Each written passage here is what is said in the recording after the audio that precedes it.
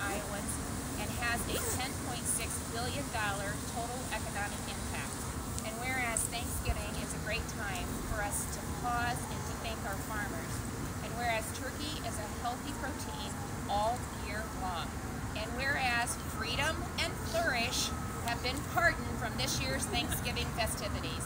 Now, therefore, I, Kim Reynolds, Governor of the state of Iowa, do proudly proclaim freedom and flourish as symbols of Iowa's great turkey industry, and they are free to roam this Thanksgiving Day.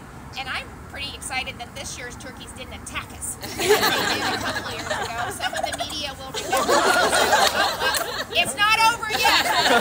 well, I, I begged them on, so uh, I don't